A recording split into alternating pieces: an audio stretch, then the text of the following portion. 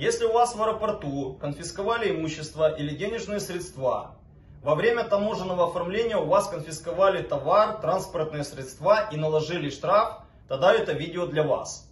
Я и мои адвокаты специализируемся по делам о нарушении таможенных правил. У нас есть отработанные механизмы решения ваших проблем.